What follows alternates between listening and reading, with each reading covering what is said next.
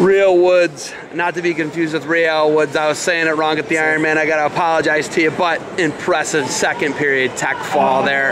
Real, what, what what's going through your head when you're just rolling up those double legs, down leg Turks? What's going through your mind? Just gotta keep moving. You know, can't ever stop during a match. gotta keep going. If you ever stop, that's giving your opponent an advantage. You gotta keep the advantage, keep moving. Coach Izzy, first off, both champs in a row, two in a row, 106 and uh, 113. What's going through your head in the 106 final? I mean, I thought I wrestled pretty tough, got to my offense right away, but I let him score a takedown in the second period that I shouldn't let him score. And I think you wanted to get on top and work yeah. too. Yeah. All right, real. Ironman title. Tell me about that Ironman title. You know, it's great, dude. I trained so hard to get that, so hard. Now it's just time to move on. Move on to the summer, freestyle Greco. Um, move on to next season. Just keep working for the next next title.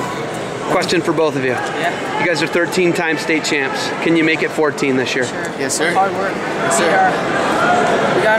We, are, we got our like five core guys out. No one works as hard as our team. Yeah. Nobody works as hard as you guys? no one works as hard. No one works as hard as us. We might not have the talent, but we definitely work the hardest in the state.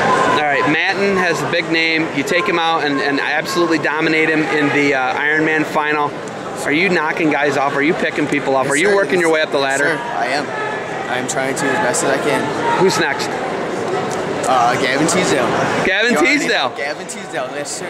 Gavin For Teasdale. number one spot. Where could you see him at? Uh, I'm not sure. I mean, I, I don't know. I don't think in the, in the in this year in high school folk style, but in the summer I'm hoping Fargo, freestyle Greco season. Okay. Are you catching a lot of beat downs from him? Uh, sometimes I take my fair share, but it gets, it gets me better every day,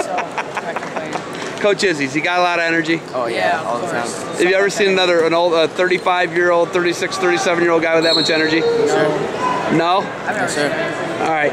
What do a lot of people call you Real?